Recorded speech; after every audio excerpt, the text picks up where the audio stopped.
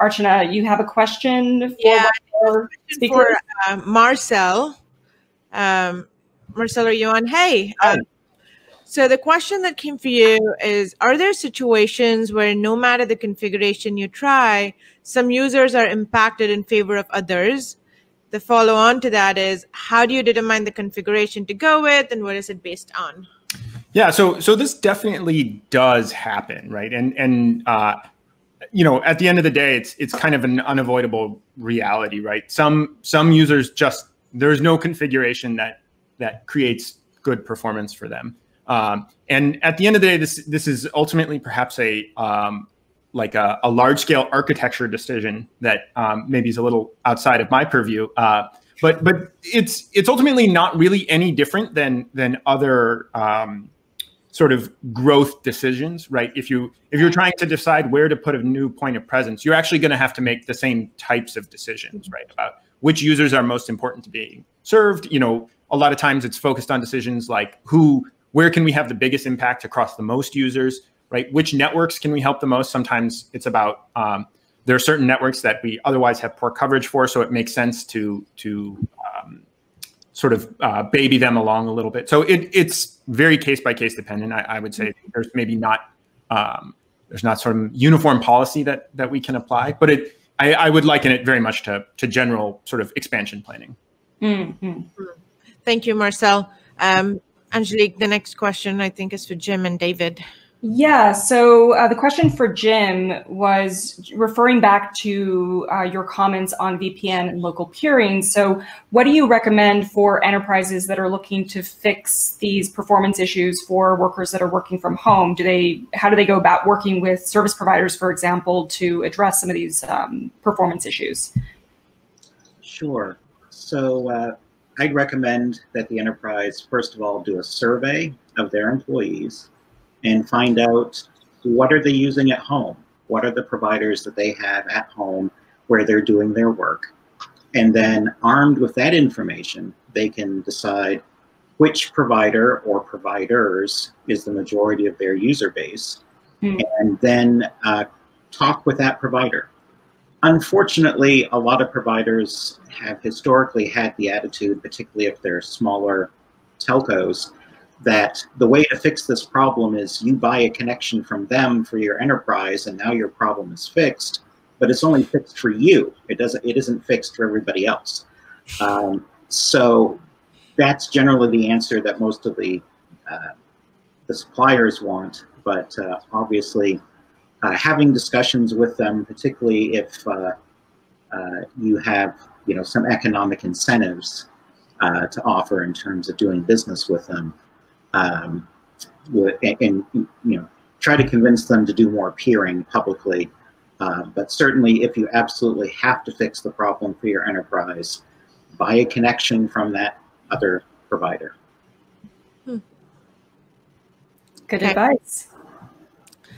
David, um, question for you. You've been tracking disruptions, internet outages for a long time now, right? And so, what is it that you've noticed, um, or something that's changed, uh, stayed the same um, with you know from the perspective of lockdowns? Sure. Yeah, and, and, it's an interesting question. It's something I've been actually thinking about for the last couple of months as well. Um, I think that we've seen internet disruptions due to um, you know network issues, uh, fiber cuts, cable cuts, you know things like that. Um, those have you know more or less continued apace. Um, I think you're always going to have errant anchors and and you know configuration issues and things like that. I, I think what we've seen a decline in over the last couple of months have been the large scale uh, government directed shutdowns. Um, the two week shutdown in Ethiopia that just kind of ended, notwithstanding. But um, you know, I, I, had been talking to some colleagues about that as well, and um, you know, there was this question of you know, is it is, is that decline because governments are finally realizing just how critical the internet is for everybody's you know everybody's lives now. Uh, you know, thanks to, to to the pandemic, thanks to the lockdowns. Um, but I think what we ultimately realized uh, is that it's less that, unfortunately, and more that a lot of the events that historically drove the shutdowns, the the riots, the um, elections, the things like that, those have been not taking place, uh, or they've been postponed, or well, the elections have been postponed, the riots haven't been taking place. Uh, you know, it, depending where you are, of course. Uh, but but those sorts of activities, uh, I think, are happening with lower frequency right now, which is then driving um, uh, the governments uh, to to has been driving fewer government directed large scale internet shutdowns. Um, and I'll use this as an opportunity also to, to plug my blog, uh, internetdisruption.report um, and work that we're doing at the Internet Society as well uh, on the Measuring the Internet project, um, looking at internet shutdowns. Thank you, David. We have a, a follow-on question for Jeff, if uh, if he's still on. I certainly uh, so am. Andrew has a, has a follow-up question to to your response. So. Um, he has said if everything morphs into web apps, how do you see this impacting open standards, security, and ultimately privacy? He's pessimistic. Pessimistic, he said. Oh, I think it's perfectly reasonable to be incredibly pessimistic about the internet. Um, indeed, trying to search for something that, that hasn't quite got this sort of ring of, of acute pessimism is at times quite challenging. Um, the early days when we thought this opened up broad horizon of digital communication where any protocol was possible, any form of interaction was possible, where we discovered and were playing with all kinds of methods of communication, um, sort of vaporized at some point because we abused that environment so horribly that everyone put up filters and firewalls. And, and this response to this level of abuse is actually almost worse than the problem it was trying to counter. That we are locking this down now and creating intermediaries, creating a brokered communication environment, all in the name of enhanced security. But of course, the fundamental observation is if we're relying on security being prime number factorization, the first quantum computer that works will blow that out of the water. If we're relying on security being a bunch of CAs that never ever lie except they, when they lie, then again, this whole stuff is terrible. So I can share Andrew's pessimism that we're building a very encased internet and trying to think that the little bit of greenery we've managed to fence around is greenery worth living in. The problem is it's probably not. And, and the issue is, I think, in some ways, what we don't do is look further afield. We don't measure, we don't observe, we don't feedback. We are constantly just reacting and very little understanding. And I think part of it is that we kind of lost the research and academic community somewhere down the path of commercialization. And hmm. somewhere along this, we kind of assumed, well, this is all done. This is all fine. Thank you, Boffins. You can go home now. We understand this so well. We're just going to exploit it for what it's worth. But I think that feedback loop of understanding what's going wrong in exploitation is missing. And creating ever more draconian firewalls and shutting the apertures down ever more highly and creating systems where the poor operators, as we saw at the moment, are pulling what's left of their hair out trying to balance traffic. This shouldn't be happening. If we can make self driving cars, why can't we make self driving networks? What is wrong with us and why we managed to get it so thoroughly wrong is actually a really, really good question. We don't understand what's happening. We don't watch closely, problem A. But B, we actually don't think about what we've just seen and put it into context and understand where to go from here. And so the result is, as Andrew observes, we lose privacy, we actually lose flexibility, we lose a whole bunch of things that in the long term are valuable. And so, yes, this is not the ideal place to be. I'm sorry, it's just not. And trying to understand how to make it better is, I think, the challenge for all of us.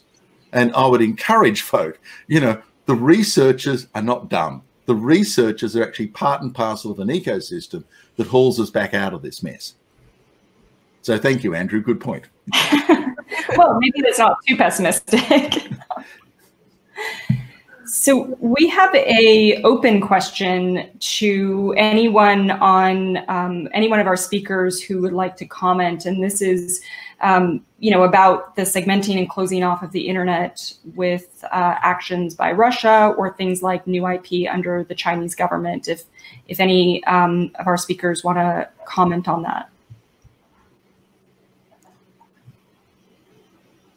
So the question is about, you know, how effectively the internet the internet is kind of fragmenting or, you know, kind of um, becoming different internets, if you will, given Russia, given China, and there was some specific reference to new IP under the Chinese government, which I think you've written about, Jeff. Um, as, yes, I did. Yeah. Yeah. Um, I actually think new IP is a throwback to the 1990s. Um, what is being, I suppose, proposed inside this model is, is back to a model of dumb applications, dumb hosts, and clever network. It's the whole QoS thing all over again. The internet is a scarce resource. Applications don't know how to make use of it. The network itself will arbitrate, manage, and massage traffic and actually control the applications. Now, if you're a vendor of network equipment, everything I've said is wonderful because all of a sudden you're the center of the spending. You are the gatekeeper. You're the toll box.